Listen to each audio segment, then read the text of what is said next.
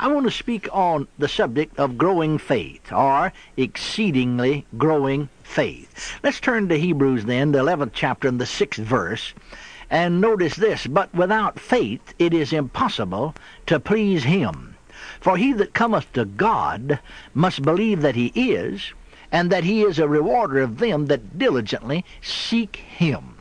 Notice particularly the first part of the verse, but without faith it is impossible to please him. Now, if God demands that we have faith when it's impossible for us to have faith, then we have a right to challenge his justice. But if he places within our hands the means whereby faith can be produced, then the responsibility rests with us as to whether or not we have faith. Well, God has told us here that without faith it is impossible to please him. But he has also told us how to obtain faith. He has told us how faith comes. Well, how does it come?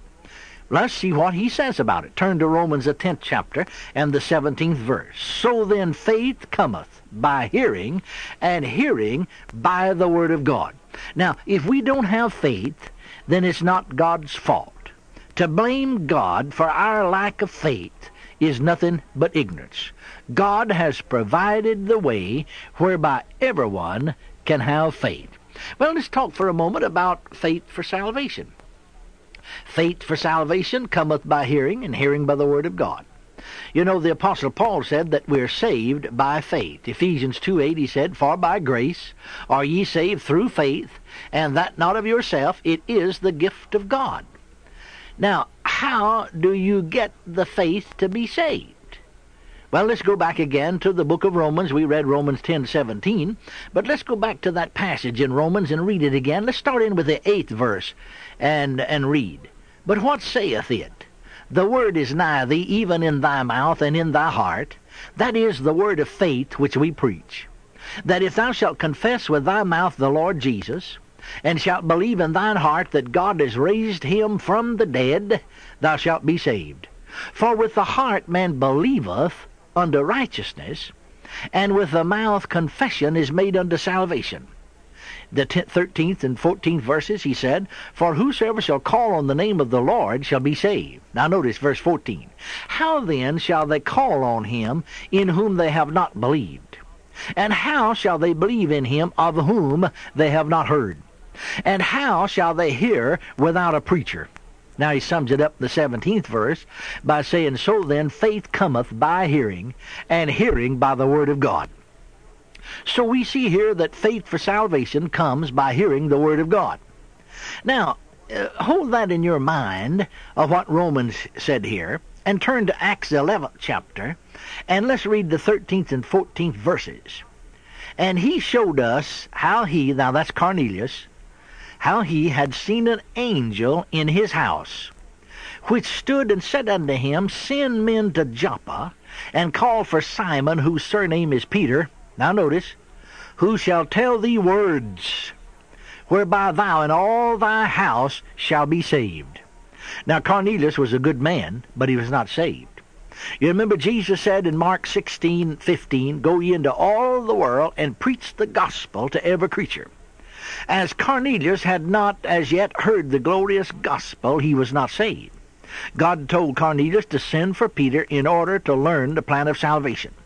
The angel could not preach to Cornelius. Angels cannot preach. God sent men to preach. But the angel could tell Cornelius where he could get somebody or go to get somebody who, as he said here, shall tell thee words whereby thou and all thy house shall be saved. Men are saved by hearing words. Now, why? Well, that's because faith cometh by hearing, and hearing by the Word of God. You cannot believe without hearing the Word. Well, what about faith for healing now? How does faith for healing come? In the same way. Notice, that it comes the same way. Notice here in the 14th chapter of Acts, the 7th through the 10th verse. And there they, that's Paul and Barnabas, preached the gospel. And there sat a certain man at Lystra impotent in his feet, being a cripple from his mother's womb, who never had walked. The same heard Paul speak, who steadfastly beholding him, and perceiving that he had faith to be healed, said with a loud voice, Stand upright on thy feet. And he leaped and walked. Now, a casual reader of the word might say, You know, it's wonderful how Paul healed that man. But you know, Paul did not heal the man. The man was not healed because Paul was an apostle, nor was he healed by Paul's faith. The man himself had the faith. Notice what it said. Paul did three things. Verse 7, he preached the gospel. Verse 9, he perceived that the man had faith to be healed. Verse 10, he told the man to stand up and walk. Now, the man did three things. Verse 9, he heard Paul preach. Uh, and verse 9, he had faith to be healed. And verse 10, he leaped and walked. This man was not healed by some power which Paul had. The man himself had faith to be healed. Now, the question is, how did he get the faith to be healed? He got it from what he heard. He heard Paul speak. Now, what did Paul speak? Well, verse 7 said he preached the gospel. If Paul had preached what we have called the gospel, how did the man get healed? Paul preached what the Bible calls the gospel. I remember as a young Baptist boy on the bed of sickness, uh, reading Grandma's Methodist Bible. The more I read, the more I realized that I had never heard the full gospel, but only a part of it. The more I read the Word, the more I noticed that I didn't have to die at that early age. The more I read, the more I realized that I could be healed. Now, I'd been taught that God could heal if He wanted to, which was even a bigger insult than saying He couldn't heal, because both are untrue.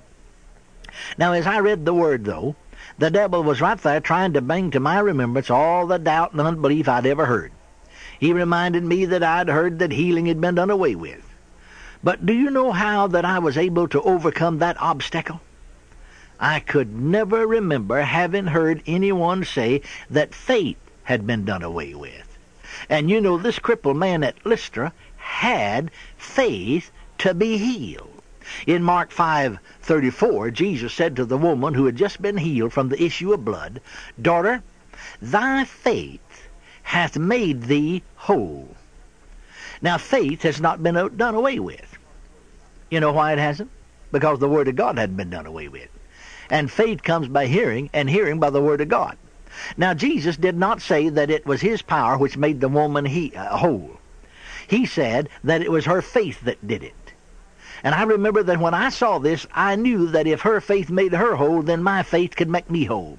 And thank God it did. My faith made it whole made me whole. My paralysis disappeared. My heart condition was healed. My incurable blood disease was healed. And as I say, sometimes I've been going at a hop, skip, and a jump preaching the truth ever since then. Now, let's go back to this man at Lystra and ask ourselves this question. How did this cripple man get faith to be healed? Well, he got faith to be healed from what he heard.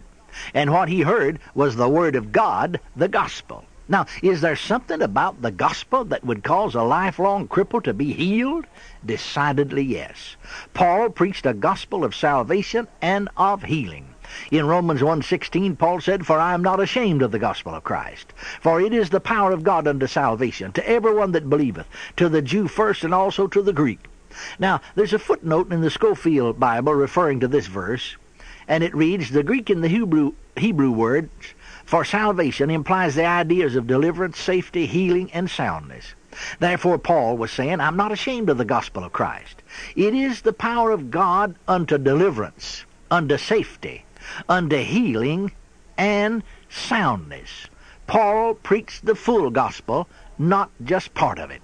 Now look again to the Acts of the Apostles. Just notice Acts 5, uh, or Acts, Acts 8, 5 through 8. Then Philip went down to the city of Samaria and did what? preach Christ unto them. And the people with one, uh, with one accord gave heed unto those things which Philip spake, hearing and seeing the miracles which he did. For unclean spirits, crying with a loud voice, came out of many that were possessed with them, and many taken with palsies, and that were lame were healed, and there was great joy in that city. Now, these great miracles came about as a result of preaching Christ according to verse 5. We're teaching from my book, Exceedingly Growing Faith.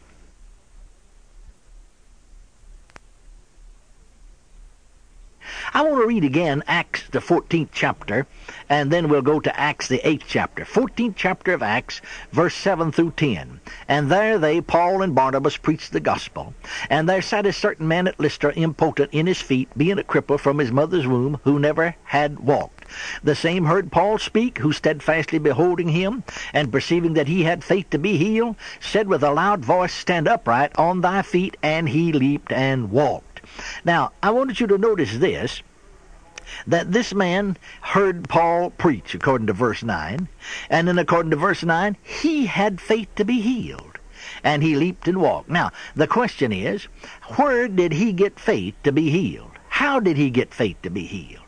Well, he got it from what he heard. Uh, he heard Paul speak, because Romans 10:17 said, "So then faith cometh by hearing, hearing by the word of God." Well, now what did Paul speak? The seventh verse said, "He preached the gospel." Uh, you know, friends, this man got faith to be healed, this crippled man at Lystra. He got faith to be healed from what he heard. What did he hear? He heard the gospel preached. You see, healing is part and parcel of the gospel of our Lord Jesus Christ. There is no real Bible gospel preached unless healing is preached. That is the healing of the physical body. Now let's look again to Acts the 8th chapter, and let's look at verse 5 through 8. Then Philip went down to the city of Samaria and preached Christ unto them.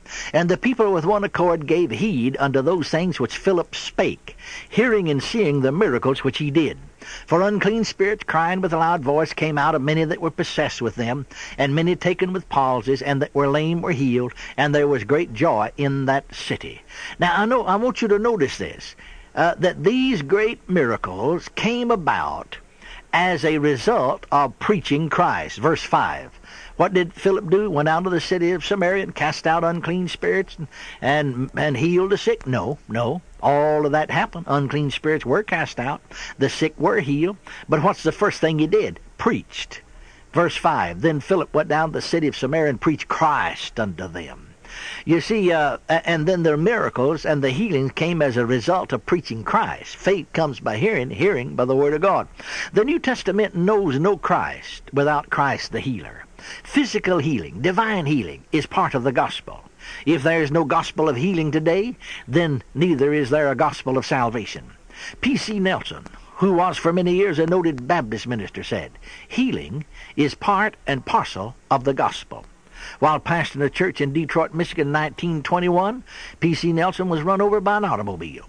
Doctors said that his right leg would probably have to be taken off at the knee, and that even if it were not necessary to take the leg, leg off, his leg would always be stiff, the knee would always be stiff. Now, as he lay in the hospital bed, he said the verses of Scripture in James 5, 14, 15 came to him. Is any sick among you? Let him call for the elders of the church, and let them pray over him, anointing him with oil in the name of the Lord. The prayer of faith shall save the sick. The Lord shall raise him up. And if he have committed sins, they shall be forgiven him.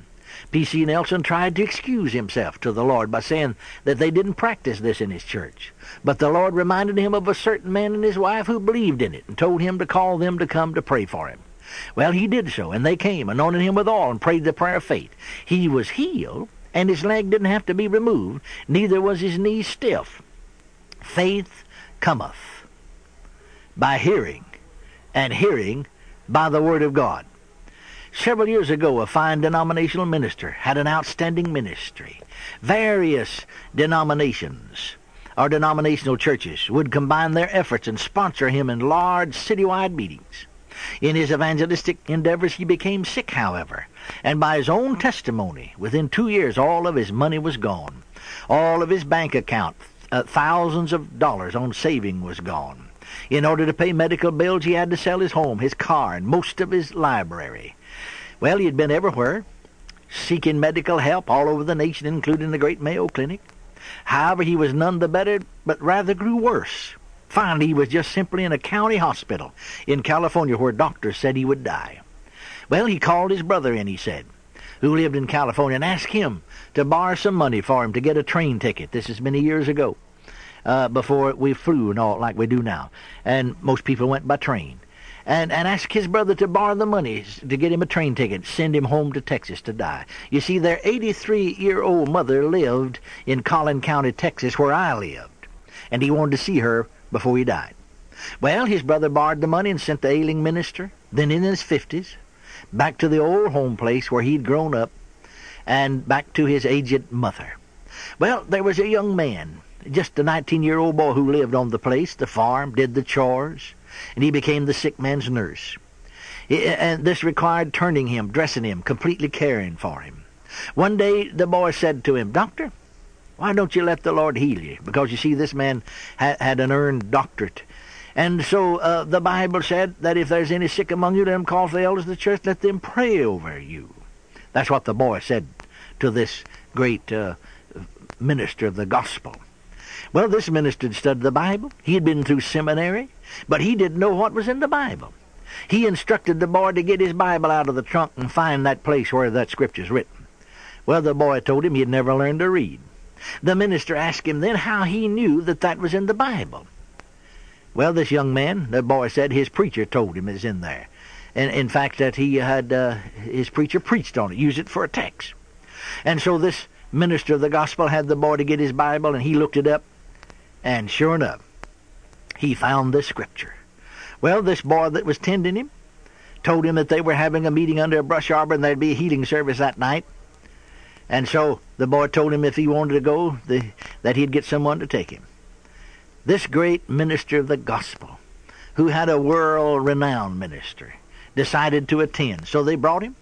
Many years ago, they put him in the back of an old Model T Ford and made a bed back there, drove the car up as close as it could to the brush arbor, after the service, the preacher was preaching under the brush arbor, came and anointed this great minister of the gospel with oil and prayed over him. Well, it was midnight before they got home. But when they arrived, the minister asked his mother to let the boy fire up the old wood stove out there in the country so that she could fry him some ham and eggs and make him some biscuits. Now, he hadn't eaten anything except baby food and soft food in over two years. His mother, he told his mother that he was healed. He told her that the preacher had anointed him with oil and prayed for him. Well, the mother said later that she thought he'd lost his mind. And she thought, well, at least if he dies, he'll die full. And so she cooked him some old-fashioned country biscuits. And uh, he ate the biscuits and the ham and the eggs, and he didn't get sick. He was healed. Well, he began to write articles then for publication in various magazines, and calls began to come in for revivals. A citywide meeting was arranged for him. And this boy told him that before he went to the meeting he must be filled with the Holy Ghost. Well, he said he is ready to believe anything that the boy told him, so asked him what to do. The boy told him how. They went to an old brush arbor meeting. When they gave the invitation, he went to the altar and knelt there in the sawdust, and they received the baptism of the Holy Ghost and spoke with other tongues. Now, this ministry has long since gone on to glory, but his writings have been a blessing to many. Now, how did this man get faith for healing? He got it by hearing. And hearing by the Word of God. That young man who was seeing after him and who acted in his nerves just simply gave him what the Bible said, told him what James 5.14 said, and 15. Now, I referred earlier to the woman who had an issue of blood for 12 years. The Word of God tells us about her faith in the fifth chapter of Mark we are told that she had spent all of her living and that she had had many physicians, but was none the better. The 27 and 28 verses say about her, now notice, when she had heard of Jesus, came in the press behind and touched his garment, for she said, If I may but touch his clothes, I shall be whole. And in the 34th verse we read, And he said unto her, Daughter, thy faith hath made thee whole. Go in peace and be whole of thy plague. Now, where did this woman, this woman with a 12-year condition that was incurable, spent all of her living, suffered many things of many physicians, none the better, but rather grew worse. Where did this desperate woman get faith to receive healing? Verse 27, when she had heard. When she had heard. When she had heard. You see, faith cometh by hearing, and hearing by the Word of God. Now, how did she get faith to be healed? Well, she got faith to be healed by just the way you are going to or anybody else uh, that has faith, and that is by hearing the Word of God. So then faith cometh by hearing, Romans 10, 17, and hearing by the Word of God. How are you going to get faith for healing? By hearing what the Word of God has to say on that subject. Now, don't close your mind to it and say, well, that's been done away with. No, listen to what the Bible said on the subject, because you see, faith hasn't been done away with. Because if faith's been done away with, then the Bible's been done away with. because it said faith comes by hearing and hearing by the Word of God.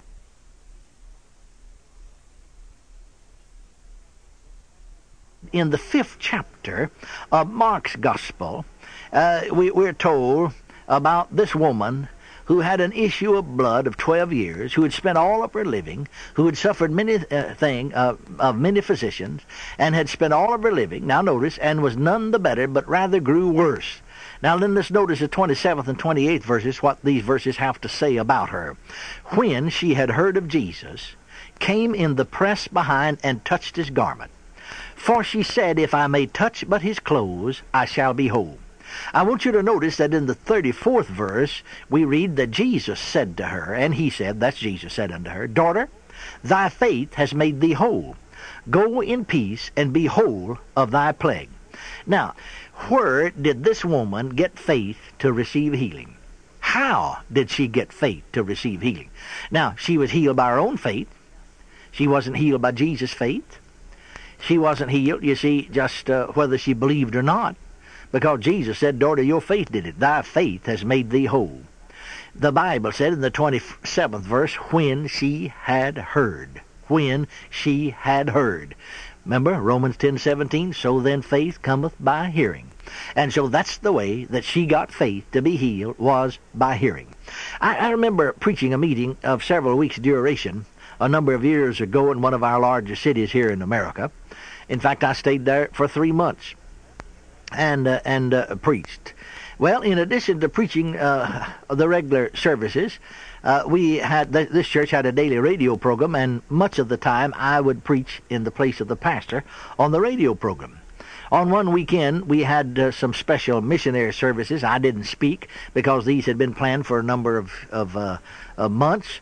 And uh, so for just on the weekend, I didn't speak. Then I picked up and began to speak again the next week. But anyway, on Friday night, after the service had been dismissed, one of the ushers told me that a man and his wife were there from another large city nearby and wanted to see me. The wife was sick and wanted healing. Well, her husband related to me as uh, that the fact that as he drove along one morning to work, that he heard the radio program.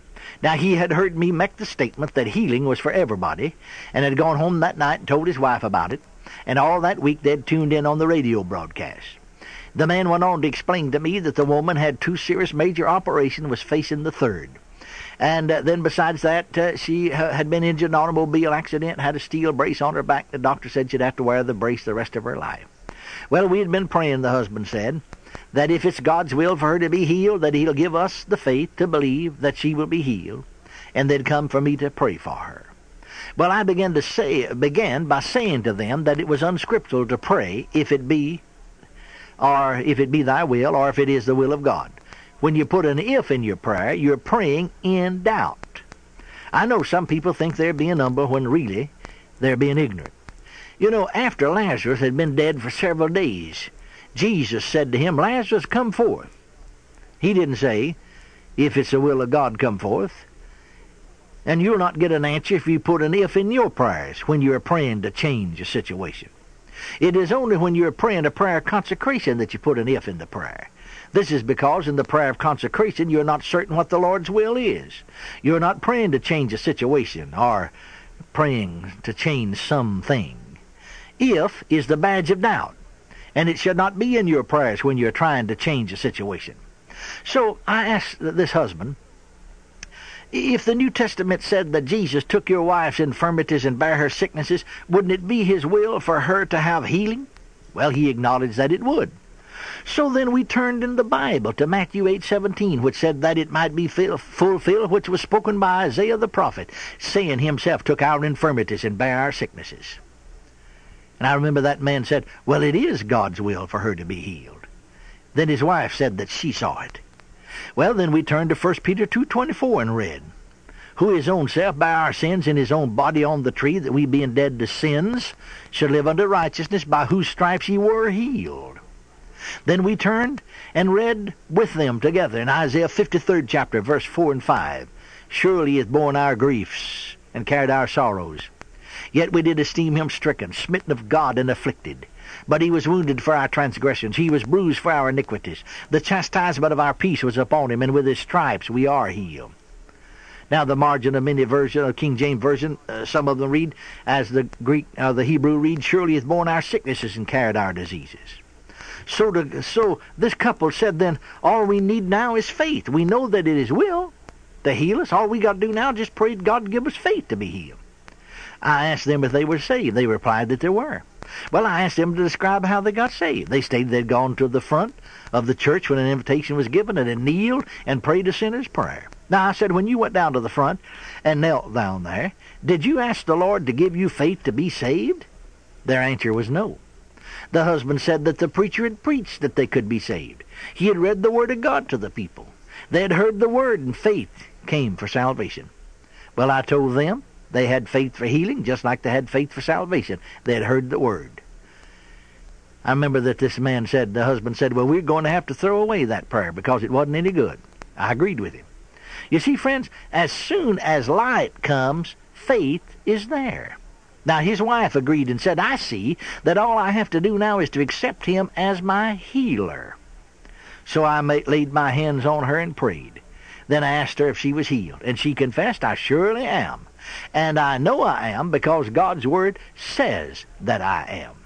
Now, during the uh, following Sunday, the next Sunday night service, the vestibule door suddenly swung open. There was this husband. After asking if he could say a word, he began to tell what happened. He said that when they arrived home that Friday night, his wife pulled off her brace, threw it in the closet, and said, Thank God I'm healed. I won't need that anymore. Yet there wasn't any evidence of healing yet. The next Saturday, the next day then, when he came home, he said he found his wife stooped over the lavatory washing her hair, something she had been unable to do. And this Sunday night he brought his mother, who was in a wheelchair with paralysis, to be prayed for. After prayer, she stood up and walked out. When hands were laid on the young couple, they received the baptism of the Holy Ghost and began to speak in tongues. Now, years later, I talked with them, and she was still healed. Now, here's the point I wanted to get over to. How did she get faith? How did this woman get faith to be healed? From hearing the Word, from the Scriptures that I gave to her. And so that's the way that faith comes. I sell this to people. Whatever it is you're praying for, I've just been talking about how to get faith for healing here.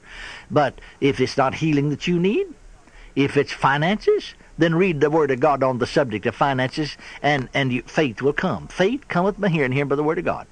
Uh, or, or faith for anything. Find out what the Word of God has to say about it.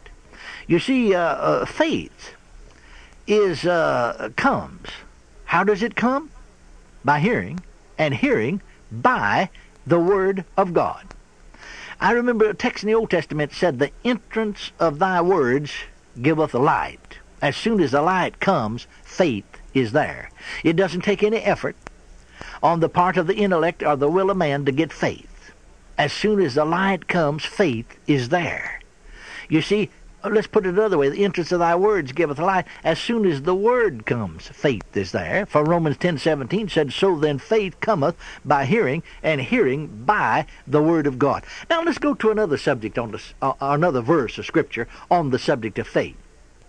Let's go back again to the book of Hebrews, 11th chapter, the first verse. Here's a very important verse, the very first verse. Now faith is the substance of things hoped for, the evidence of things not seen.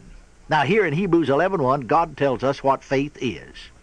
Moffatt's translation of this verse reads, Now faith means that we're confident of what we hope for, convinced of what we do not see. Another translation says, faith is giving substance to things hoped for. I like that. Still another translation reads, faith is a warranty deed. That the thing for which we have finally hoped is at last ours. Now we need to realize, friends, that there are a number of kinds of faith. Everyone, saved or unsaved, has a natural human faith. But here God is talking about a scriptural faith. He's talking about a Bible faith. He's talking about believing with your heart. And there's a vast difference between believing with your heart and, and just believing what your physical senses tell you. Faith is grasping the unrealities of hope and bringing them into the realm of reality. For instance, you hope for finances to meet the obligations that you have to pay. Faith gives the assurance that you'll have the money when you need it. Faith is the evidence of things not seen. You hope for physical strength to do the work that you must do. Faith says, The Lord is the strength of my life. Of whom shall I be afraid? Psalm 27 1. Now notice, and listen, faith will say about itself everything that the Word says. For faith in God is simply faith in His Word. Hebrews chapter 11, verse 1. Let's read that verse again. Now, faith is the substance of things hoped for, the evidence of things not seen. Now, you see here, God tells us uh, what Bible faith is. I read to you several translations. Shall we read them again today? Moffatt's translation. Now, faith means that we're confident of what we hope for, convinced of what we do not see. New English translation. Faith is given substance to things hoped for. And Rotherham translation. Faith is a warranted deed that the thing for which we have fondly hoped is at last ours. We need to realize, dear friends, that there are a number of kinds of faith. Everyone, saved or unsaved, has natural human faith. Uh, and that's one kind. But here, God is talking about a scriptural faith. He's talking about a Bible faith. He is talking about believing with your heart. And there is a vast difference between believing with your heart and just believing what your physical senses tell you. Faith is grasping the unrealities of hope, we said, and bringing them into the realm of reality. Faith will say about itself everything that the Word says. Listen carefully now. For faith in God is simply faith in His Word. I know eh, many, many years ago, in being raised from the bed of sickness and disease, I learned what faith is. I remember that after being healed, after getting out of the bed, I needed work. Well, since it was in the Great Depression, it was not easy to find work. You know, men were standing on the street corners, uh, dozens, hundreds of them sometimes, looking for work. No work. How I was able to get a job in a nursery helping to pull up peach trees. With another boy on the other side of the tree, together we would pull up two-year-old trees to fill orders that had come in. Well, I want you to know that was work especially for someone who had been bedfast for 16 months and at this time had only been up a few months. I remember each morning before sunup we would meet, and every day some of the boys would say, Well, I didn't think you'd make it today. You know, two or three quit yesterday. You know, we worked from sunup to sundown for one dollar a day. And so we met early in the morning before the sun was up. The men took us out in the country where we pulled these trees, you see. Now, I, I didn't believe in going around, and I still don't believe in going around trying to push something off on someone, but I did believe in witnessing for God. And so when they would say these things, it would give me an opportunity to say so. They'd say, we don't see how you make it. You're so thin and so weak, and others are falling out. I said, if it weren't for the Lord, I wouldn't be here. I would answer, for you see, His strength is my strength. The Bible says, the Lord is the strength of my life. Now, my life consists of the physical as well as the spiritual, and the Lord is the strength of my life. Well, when I would say that, that'd make some of the boys angry, and they'd just curse, really. But I'd smile and say, Praise the Lord, I'll be here tomorrow and every other day because the Lord is my strength. Now, I want you to notice, know this, friends, that if I'd gone by my feelings, I would never have gotten out of bed. I was never so weak in my life. I felt as if I couldn't do it. But I stayed with it. I acted upon the Word because I knew what faith is. One definition of faith, somebody said, faith is acting like the Word of God so. Well, I'd say to the Father and to Jesus and to the Holy Ghost and to the devil and to myself and to the other boys if they asked me, the Lord is my strength. But you know, I never actually got any help until I started to work. Many people want to get something and then believe they've got it. But you have to believe you have something, and then you receive it. When we began to work each morning, I wouldn't have any strength. But when we started on the first tree, or sometime the second, I would feel something come down over me from the top of my head. It'd go through my body and out the end of my fingers, out the end of my toes, and I'd work all day long like a Trojan. I remember one 250-pound fellow said, I'll tell you, when this old 250 pounds is gone, there won't be a man left in the field. And I said to him, Why, Alton, God weighs more than 250 pounds. When you fall out and quit, I'll still be here. Now that riled him. But at three that afternoon he fell out, and I was the only man left. In the natural, I was the weakest and the skinniest. but I was the only man left of the original crew. I'd proved God's Word. Now you may say that you know God's Word is good, but you'll never really know until you've acted on it and have reaped the results. And this is what I'm trying to tell you that faith is. Faith is, as the New English translation said, giving substance to the things hoped for. I acted on God's word. I went to work. I hoped for the physical strength to do the work, but it was my faith that gives substance to what I'd hoped for. Faith says, God is the strength of my life. As I acted on God's word, faith gave substance to that for which I had I had hoped. Now a lot of people just hope and they stop right there. And that won't work. Faith is the substance of things hoped for.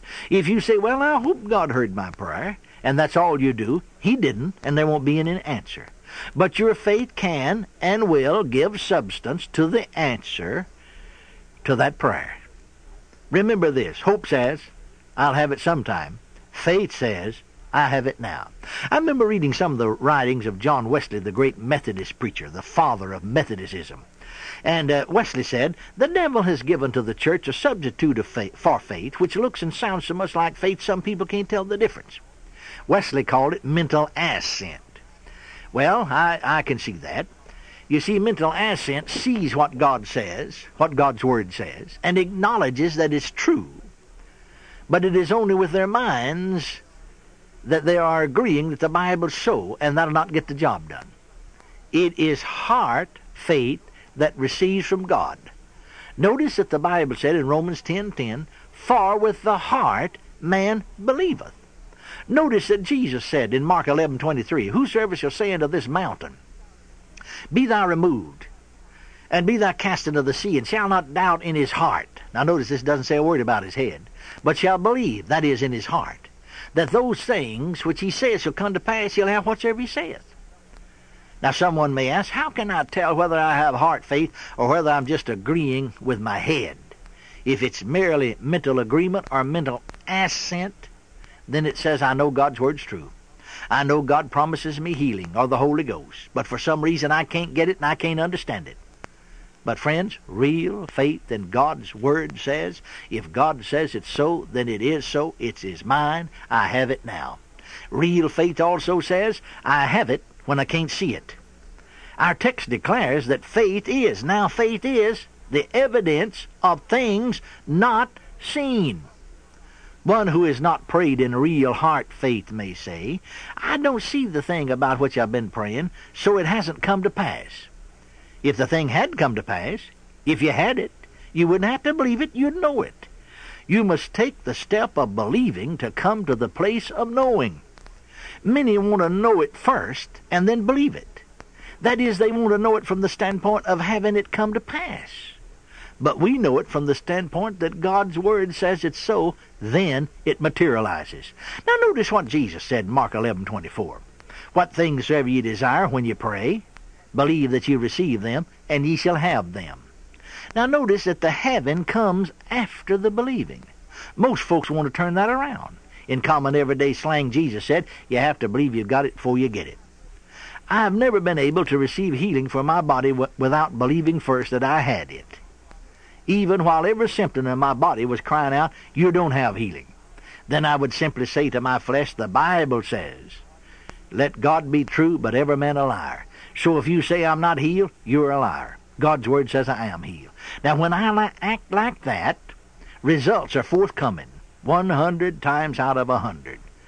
I know if a person just sits around and groans and sighs and gripes and complains, waiting for something to happen, waiting until he can detect that every symptom's gone and that all flesh corresponds with his faith before he starts believing God, then he's out of order and he will never get very far. You know, Doubting Thomas said, I'll not believe until I can see uh, him and put my finger in the prints in his hands and thrust my hand into his side. Then when Jesus appeared, Thomas said, My Lord, my God. Jesus said, Thomas, because thou hast seen me, thou hast believed. In other words, Thomas wasn't believing the same way that you and I believe in Jesus' resurrection. He believed because he saw him with his physical eye. We believe it because the Word of God says it is so. Here's a great faith verse, and that's Mark 11:24. What things soever ye desire when ye pray, believe that you receive them, and ye shall have them. Now, let's notice that the having comes after the believing. Now, most folks want to turn that around. They want to have it first and then believe it. But in common everyday slang, Jesus said you have to believe you've got it before you get it.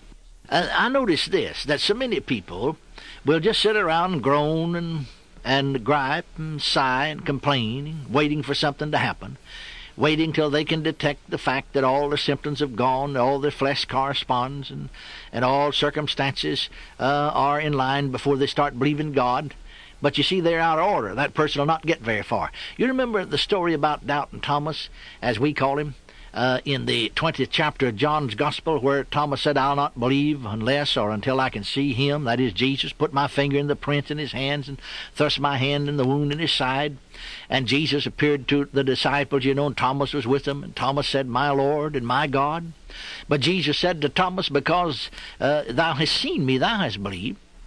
In other words, Thomas wasn't believing the same way that you and I believe in Jesus resurrected. He believed because he saw him with his physical eye. We believe it because the Word of God says so. You know, friends, some people miss it without realizing it. They say, Well, I believe in divine healing because I saw so and so healed. You know, that's not the reason I believe in divine healing. I believe in divine healing because the Word of God says it. Uh, I, would believe in divine healing if I never did see anybody healed. I believe in salvation not because somebody got saved, because the Bible teaches. Now, I don't believe in speaking in other tongues because some people believe in it or because some people speak in tongues. I believe in it because of what the Bible says, not what I see or hear. My faith is not in what I see and hear. My faith is in what God says. Now, when we get our faith to that point, then we are right and in order, and that brings results. Now, Thomas said here, in effect, I will not believe until I see. And Jesus said, Thomas, thou hast believed because thou hast seen. You see, his believing was based on his seeing. Our believing is based on what God said. Now notice, Thomas, uh, Jesus said, Thomas, thou hast believed because thou hast seen. Blessed are they which have not seen, yet do believe. Those are the ones who are blessed. Now, let's compare Thomas's faith with the faith of Abraham. In Romans, the fourth chapter, the 17th through the 21st verse. Romans chapter 4, verse 17 through 21. As it is written, I have made thee, that's Abraham, a father of many nations. Before him whom he believed even God, who quickeneth the dead, and calleth those things which be not as though they were who against hope believed in hope that he might become the father of many nations, according to that which was spoken, so shall thy seed be. And being not weak in faith, he considered not his own body now dead, when he was about an hundred years old, neither yet the deadness of Sarah's womb. He staggered not at the promise of God through unbelief, but was strong in faith, giving glory to God, and being fully persuaded that what he had promised, he was able also to perform. Now, I want you to notice the difference in Thomas's faith and Abraham's faith. Thomas had only what I call a natural human faith, which said, I'm not going to believe unless I can see and feel. Abraham, however, believed God's word, considering not his own body. Now, if he didn't consider his own body, then he didn't consider physical sight or physical feeling. Then what did he consider? The Word of God the Word of God. Notice that 18th verse there of Romans 4. Concerning Abraham's faith, he believed it says, according to that which was spoken.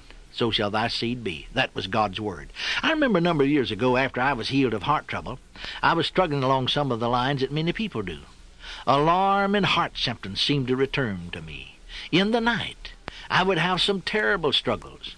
And though I'd been praying, standing on the promises, as we say, I couldn't get off to sleep.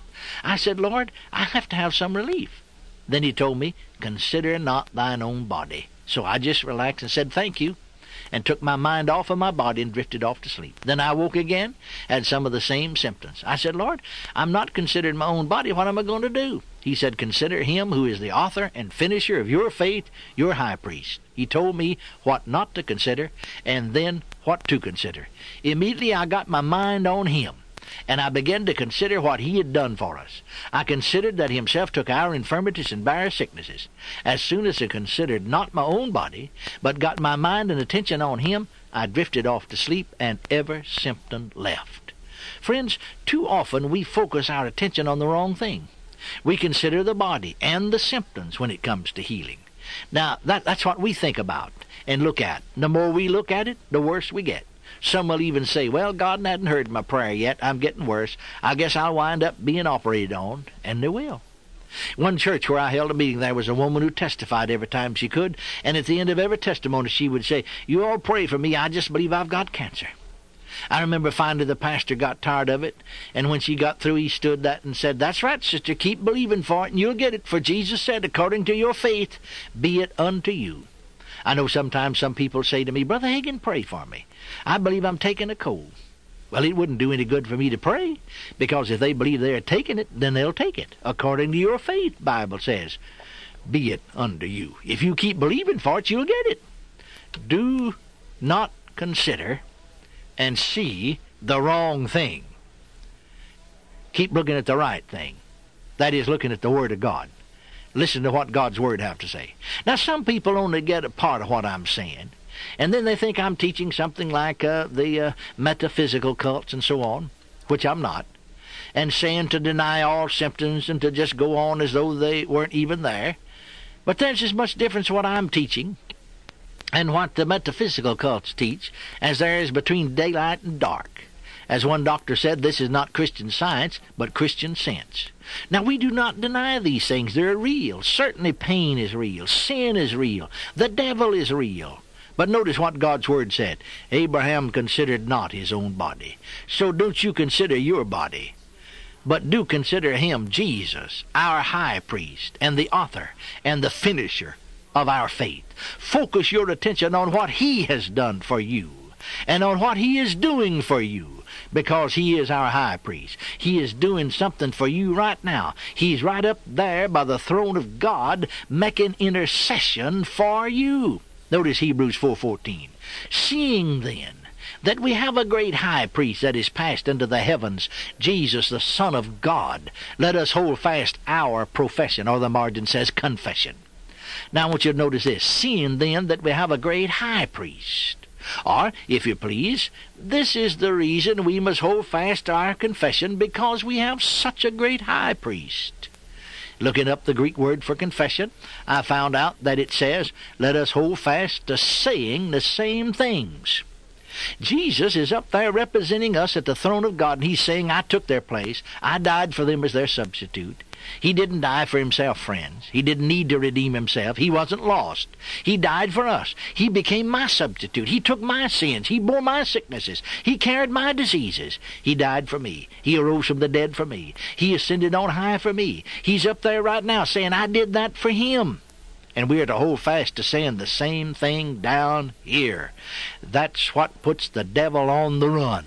Focus your attention on the right things rather than on yourselves. You know, here's a wonderful portion of Scripture that I love. Proverbs, the fourth chapter, verse 20 through 22. My son, attend to my words. Incline thine ear unto my sayings. Let them, my words, not depart from thine eyes. Keep them in the midst of thine heart. For they, my words, are life unto those that find them, and health to all their flesh. You know, many people fail because they see themselves fail. I know a turning point came in my life when I first saw this scripture. Until that time, I'd always seen myself dead. I could picture every detail about it. But after I read this scripture, let them not depart from before thine eyes, I could see myself well. I began to see myself alive. Notice what he said, let them, my words, not depart from before thine eyes. Now think for a moment. Don't you know that if God's word said in Matthew 8:17 that himself Jesus took your infirmities and bare your diseases, if you do not let that word depart from before your eyes, you're bound to see yourself without sickness and without disease. Well, you can act on God's word.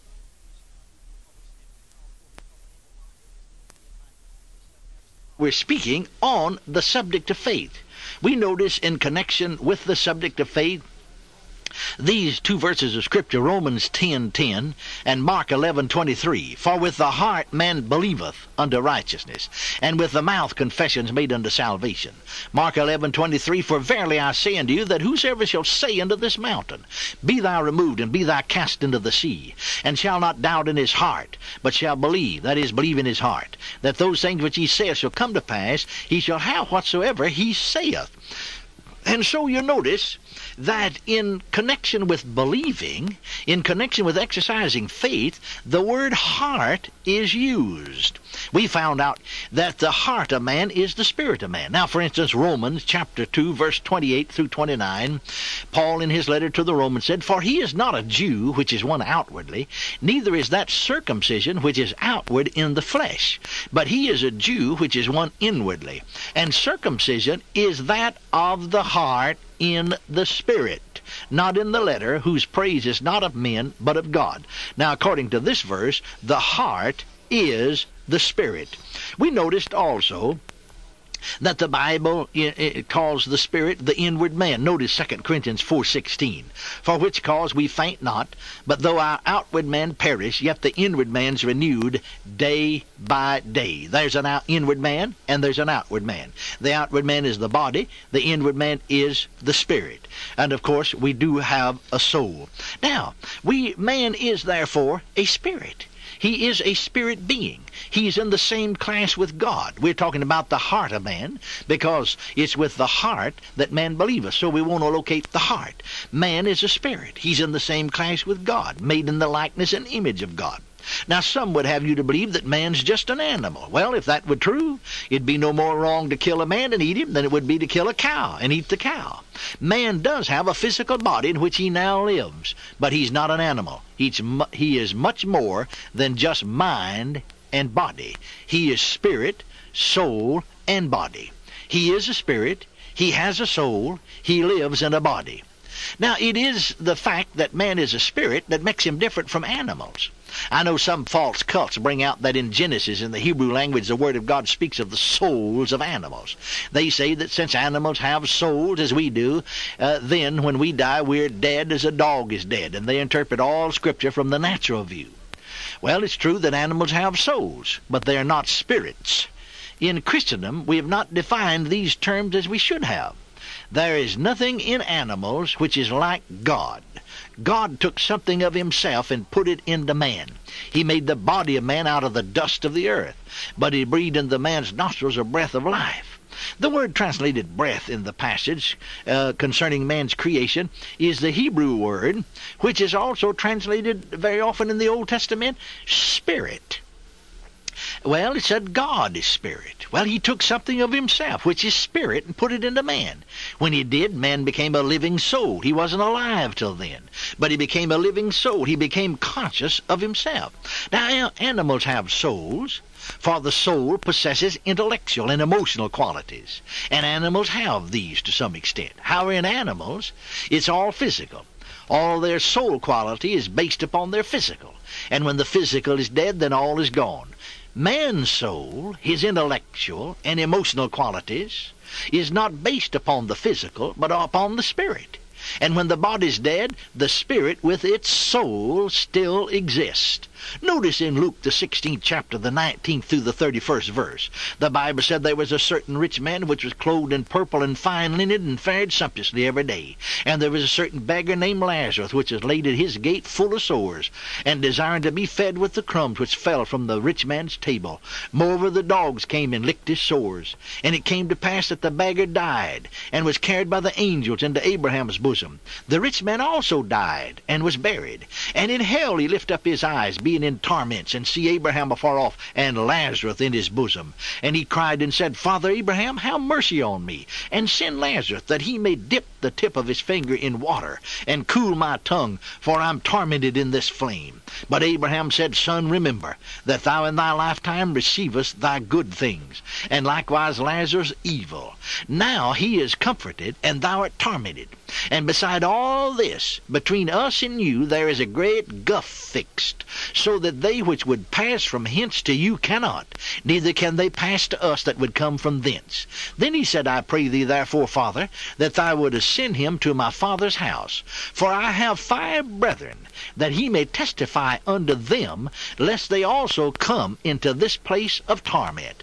Abraham saith unto him, They have Moses and the prophets, let them hear them. And he said, Nay, Father Abraham, but if one went unto them from the dead, they will repent. And he said unto him, If they hear not Moses and the prophets, neither will they be persuaded though one rose from the dead. Now, in this passage, we have a very vivid illustration of man's three parts spirit, soul, and body. Notice that verse 22 says, The beggar died and was carried by the angels into Abraham's bosom. Now, uh, who was carried away? The beggar? Not his body was carried away. His spirit is the real person. His body was put into the grave, but he, he was in Abraham's bosom. Now notice, the rich man also died. His body was put into the grave, but in hell he lift up his eyes. And although Abraham's body had been in the grave for many years, the rich man saw him. Also, the rich man recognized Lazarus. Therefore, in the spirit realm, man's appearance is similar to his appearance in this life. You can recognize him. You can know who he is. When the rich man cried out to Abraham, Abraham said to him, Son, remember, man is a spirit and he has a soul. We see in this scripture that his soul is still intact. He can still remember. He still has emotion. He's concerned about his five brothers. I have always been interested in this realm because, you see, friends, I, I, I preached about it many times that I went to hell. It was on April the 22nd, 1933, Saturday night at 7.30 in the south bedroom of 405 North College Street in the city of McKinney, Texas. Just as Grandpa's old clock on the mantelpiece struck 7.30, my heart stopped within my bosom, and I felt the circulation cut off down at the end of my toes and all the way up to my heart. Then I had the sensation of leaping out of my body. Now, I knew I was out of my body. Yet I was no less man than I was when it was in my body. I began to descend. Down, down, down I went, as if I were going down into a pit or a well. I looked up. I could see the lights of the earth far above me. The farther down I went, the darker it became. Finally, darkness encompassed me. Darkness, darker than any night man's ever seen. Darkness that was so dense that it seemed if you'd have a knife, you could cut a piece of it out. The farther down I went, the hotter it became. It was stifling. My mind, my soul was intact. I thought of life, and my entire past come up before me. Still descending, I saw down before me fingers of light playing on the wall of darkness. I saw out in front of me a giant orange flame with a white crest. Then I came to the gate, the entrance or the portals of hell itself. A creature of some kind met me when I reached the bottom of the pit.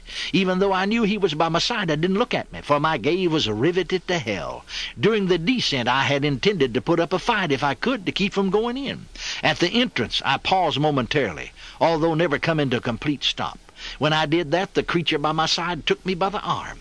Now, my physical body was still lying on the bed, but there is a spiritual body, and that spiritual body has arms and ears and eyes and all the features the physical body had. You see, the rich man said, I'm tormented in this flame. He saw Lazarus and recognized him. Actually, I, in that place, could not tell any difference in myself except that I could not contact the physical and was not living in the physical realm. Bible scholars agree that Paul was talking about his own experience when he wrote, I knew a man in Christ above 14 years ago, whether in the body I cannot tell, or whether out of the body I cannot tell. God knoweth. Such as one caught up into the third heaven. 2 Corinthians 12, 2. I know what Paul meant when he said he didn't know if he was in the body, out of the body. Well, just as that creature took me by the arm to escort me in, a voice spoke. It was a male voice. I heard it as it boomed and echoed. I could not understand it because it wasn't English, it's another tongue. But whatever he said, it shook that place, and the whole place just quivered. That creature took his hand off of my arm. Irresistible suction pulled me back, away from the entrance to hell, back into the shadows of the pit, and I came up head first out of that place. Well, I, I went down there three times. And the third time as I came up, I uh, began to cry unto God for salvation. And thank God as I began to pray, I was born again and became a new creature in Christ Jesus. Well, now, several months later, I had a different type of experience of dying. Now then, I was a Christian. I want to get it over to you for this simple reason that I want you to understand that the heart of man is the inward man, or the spirit, and that it's with this inward man that we believe God, for the Bible said, with the heart man believeth.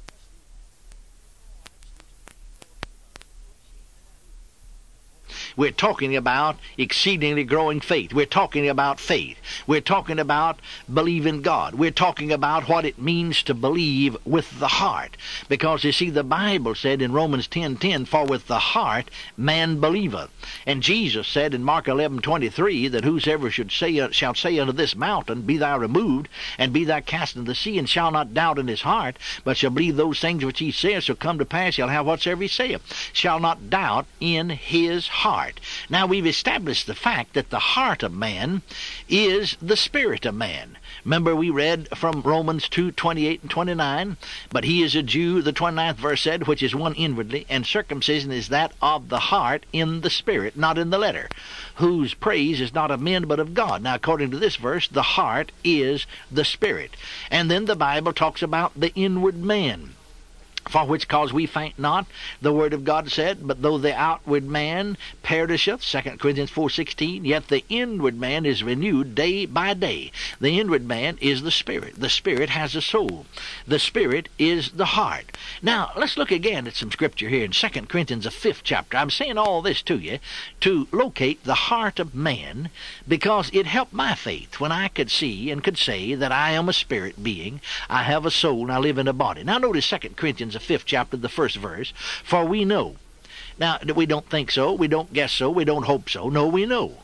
The Bible said that if our earthly house of this tabernacle were dissolved, now that's our body, if it were dissolved, if this body were, were put into the grave, we have a building of God, a house not made with hands, eternal in the heavens. Now, what is this building of God that's not made with hands? The body of man was made with hands. God formed the body of man, we know. Well, that's the inward man, the spirit. Now, then notice the sixth, seventh, and eighth verses of 2 Corinthians 5. Therefore, we are always confident, knowing that while we're at home in the body, we're absent from the Lord. For we walk by faith and not by sight. We're confident, I say, and willing rather to be absent from the body and to be present with the Lord. Now, the body of man was made with hands, as we pointed out. The inward man was not. When our body is put into the grave, we still have a building with God, not made with hands. Now, who's going to be absent from the body according to verse 6? We are. Who's going to be present with the Lord? Well, according to verse 8, we are. The Bible speaks of the inward man as being the real man, the real you. I say that to you so that you can see to believe God with the heart means to believe with your spirit apart from your body and apart from your soul or your mind. After that, I had re- related to you my experience uh, of dying and going to hell before I was saved, and then I was born again. And about four months later, on the 16th day of August, 1933, at 1.30 in the afternoon, again I knew I was dying. My youngest brother was standing beside my bed, and I told him to get mother quickly. Well, just as mother came, I had the same sensation I had before when I uh, had died. This time, though, I was saved, and I leaped out of my body and left it. Instead of going down, I began to ascend. I did not go down, I went up. Our old fashioned house had high ceilings, and when I got up about where the roof of the house should have been, approximately 16 feet above my bed, my ascent stopped and I seemed to stand there. I was fully conscious and knew everything was going on. Looking back into the room, I saw my body lying on the bed. My mother stooped over it, holding my hand in hers. She told me later that I held her hand in a death-like grip. But I had left my body. I could not speak to my mother to tell her goodbye. Then I heard a voice, and I looked up. I saw no one, but I heard a male voice. I don't know whether it was Jesus, an angel, or who it was, but I do know that it was an emissary from heaven. This voice, this time the voice did not speak in a foreign tongue, but in English. And the voice said, Go back, go back, go back to the earth. You can't come yet. Your work on earth is not done. When these words were spoken, I began to descend, and I came back into my body. And back inside my body, I said, Mama, I'm not going to die now. She thought that I wasn't going to die at that moment, but I meant I was not going to die now at all. I meant I was going to live and do the work and the will of God. Well, I stayed in that bed almost twelve months to the day before I received my healing. For even though it was the will of God for me to live, He couldn't make an exception of me. I had to receive my healing just as anyone else does. And it took me twelve months to see it. You see, I waited there all those months for Him to heal me, and He didn't do it. And if you're waiting for Him to heal you, you're, He's not going to do it. You're just wasting your time. However, if you will begin to appropriate your healing and receive that which he has already wrought for you, you'll get it. And so you can see from 2 Corinthians, the fifth chapter, as we read to you the first verse and the sixth through the eighth verse, that my experience of dying was right in line with the Word of God. Now, let's look at another portion of Scripture, Philippians, the first chapter, verse 21 through 24. Here Paul is writing to the church at Philippi. For me to live is Christ, and to die is gain. But if I, the inward man, live in the flesh, the body, this is the fruit of my labor. Yet what I shall choose I wot not. Now notice, for I am in a strait betwixt two, having a desire to depart. Where's he going? To be with Christ, which is far better. Nevertheless, to abide, abide means live, to live in the flesh is more needful for you. Now, Paul says here, For me to live is Christ, and to die is gain. Nevertheless, to abide in the flesh is more needful for you. Yet what I shall choose I wot not. He's saying it's left up to me. I don't know whether I'm going to choose to go on living here for a while, or whether I'm going to choose to go ahead and die. Some people say, oh, that's all in the hands of God. No, friends, it's in your hands. Many have missed it, thinking they were leaving it up to God as to whether or not they died, little realizing they were actually leaving it up to the devil because the devil's the author of death, not God. Paul died in exactly the way he wanted to die. He said, I don't know which I, I, am going to choose. He did not say, I don't know what God's will is, or I don't know what God's going to choose for me, or I'm just praying that the will of the Lord be done. No, that's where we miss it. Paul said, I want you to notice what he said. I, the inward man, don't know whether I shall choose to stay here in the flesh a while, or whether I shall choose to go on. Now, the inward man, I read that and said all that to you to get this thought to you that the inward man, the spirit, the heart, is the real man. God is a spirit. He became a man. For Jesus was God manifest in the flesh, living in a human body. He took on a physical body. Yet when he did, he was no less God than he was before he had a physical body. Even so, when man leaves his physical body at death, he's no less man than he was when he had a physical body. This was true of the rich man. It was true of the beggar Lazarus. It was true in my own experiences. It is the inward man, the spirit, who contacts and knows God. We cannot know God through our human knowledge, through the mind. God is only revealed to man through His Spirit. That is His Spirit. When I say through the Spirit, I'm not referring to the Holy Spirit, but to man's Spirit. It's the Spirit of man that contacts God, for God is a Spirit. Now, Jesus has a physical body now, a flesh and bone body, not flesh and blood. You recall that after his resurrection, he appeared to the disciples, and that they were frightened and supposed that they had seen a spirit or a ghost. And Jesus said to them in Luke 24:39, Handle me and see, for a spirit hath not flesh and bones, as ye see me have. He asked them if they had any meat, and they gave him a piece of broiled fish and a honeycomb, and he ate it before them. Well, now then, there was a time when Peter said, I'm going fishing. The others went with him. Suddenly they saw Jesus standing on the shore. He spoke to them and they came. He had fish on the fire and he ate with them. Yes, Jesus has a physical body right now, a resurrected, flesh and bone physical body. God is a spirit. Notice that I did not say God is spirit. Some people think God is spirit and that that means he's sort of an impersonal influence. No, God is a spirit. However, the fact that God is a spirit does not mean that he has no shape or form in the spiritual realm because he did. Angels are spirit, the Bible says, and they have a form or a spirit body. In the Old Testament, the prophet of God prophesied deliverance when the city was besieged, and everyone laughed at him because they were in starvation and hunger and famine. Even his servant reprimanded him. And Elisha prayed, Lord, I pray thee, open his eyes, that he may see. 2 Kings 6 7. Elisha wasn't talking about the servant's physical eyes, but his spiritual eyes. When the eyes of his spirit were open, he saw angels of fire, horses, and chariots of fire all around the city.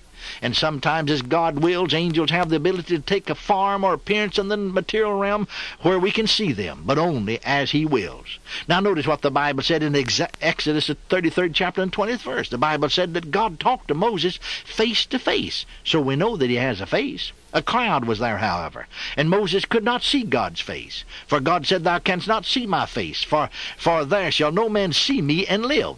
And then God said, I will put thee in a cleft of the rock, and will cover thee with my hand while I pass by. And I will take away mine hand, and thou shalt see my back point. my back parts. Now, my point's this God is a spirit, yet he's no less real because he's a spirit than he would be if he had a physical body. Jesus, with his physical body, is in heaven now and is no more real than the Holy Spirit or God the Father. Spiritual things are just as real as material, in fact, more real, in fact. Now in 1 Peter 3 4, our spirit is called the hidden man of the heart. And so the inward man, the spirit, is called the hidden man. He is a man of the heart, or the spirit. He's the hidden to the physical or the natural man. The natural man does not know he's there, but he is, and he's the real man. In Romans 7:22, the Spirit's called the inward man. So the term inward man and hidden man gives us God's definition of the human spirit. Man is a spirit. He has a soul. He lives in a body, and it's with his spirit or his heart that he believes God.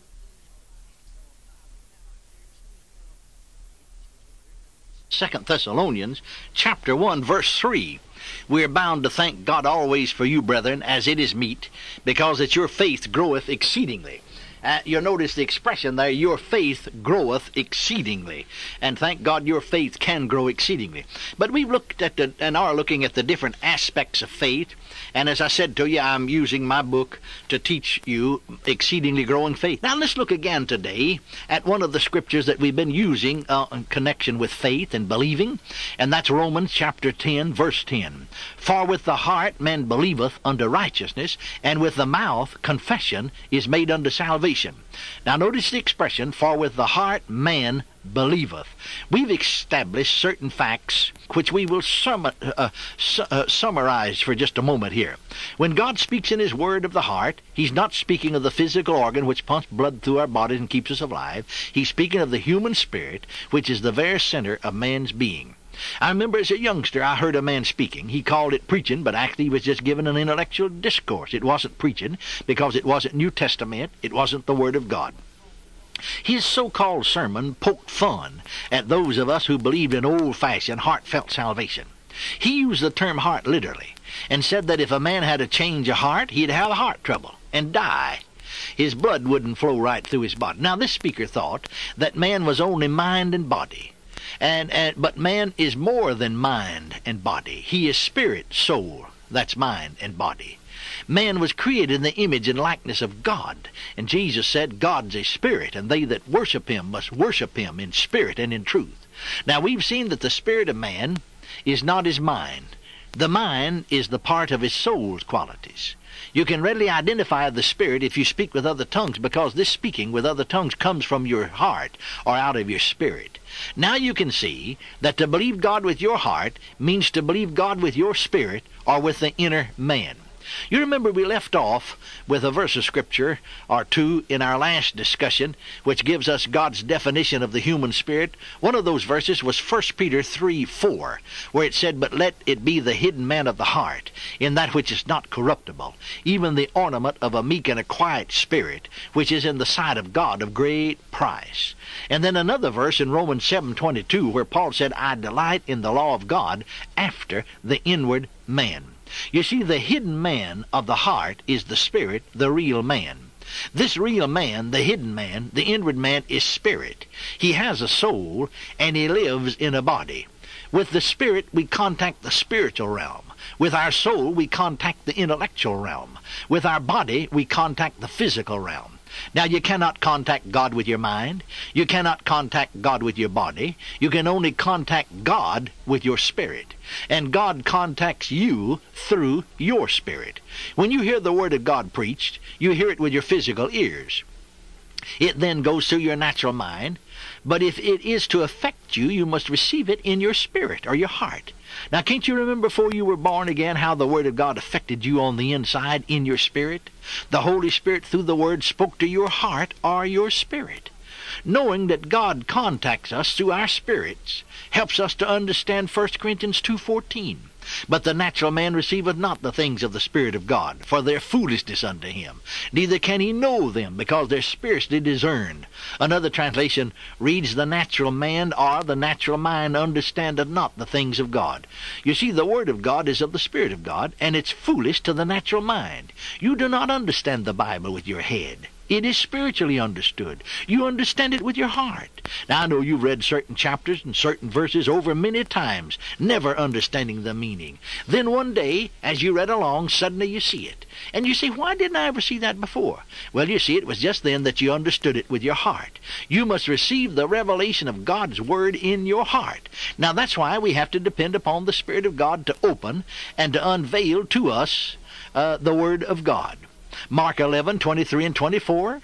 We remember we use these verses where Jesus said, For verily I say unto you that whosoever shall say unto this mountain, Be thou removed, and be thou cast into the sea, and shall not doubt in his heart, but shall believe those things which he saith shall come to pass, he shall have whatsoever he saith. Therefore I say unto you, what things soever ye desire, when ye pray, believe that you receive them, and ye shall have them. I remember my own experience that I've referred to many, many times. The entire 16 months I was bedfast, I tried to figure out what was meant by what things soever ye desire. When you pray, believe that you receive them, and ye shall have them. Well, first of all, the devil told me that it doesn't mean what it said. He told me that that doesn't mean what things soever ye desire. Uh, uh, naturally or physically or materially, such as healing. My desire was for healing. That just means what things soever ye desire spiritually. Well, I'm sorry, I listened to the devil. And, uh, you know, if Mark 11:24 doesn't mean what it said, then Jesus told, told a lie. However, I didn't comprehend that then, so I decided to send for my pastor to ask him what the scripture meant. But my pastor didn't show up, and uh, and so uh, I, am glad really it didn't because I found out afterwards that he didn't believe the Bible either. Well, you see, again, my grandma asked another preacher to come, and he said he'd come, and he didn't come. Finally, remember my aunt's pastor came. And I was trying to ask him. My my tongue, throat was partially paralyzed, and I couldn't, uh, you know, talk plainly. And I know I was just making sounds. I was trying to get him to get the New Testament and read Mark 11:24 and tell me what it meant. Isn't that strange that you'd have to ask somebody if Jesus meant what he said? I was struggling to get out the words. And he just took me and patted my hand, put on his professional voice, and said, Just be patient, my boy. In a few more days it'll all be over. Well, it was dark in that room. He laid my hand down on my chest, turned around, and walked out. I want you to know it was dark. It was dark. It was dark. Well, I'll tell you, many months went by. But finally, the Word of God got down into my heart. I understood it spiritually. That is, with my spirit. You can't understand it with your mind. You see, uh, the Bible tells us, and we read here that the Bible, the Word, things of the Spirit of God are spiritually discerned, are spiritually understood.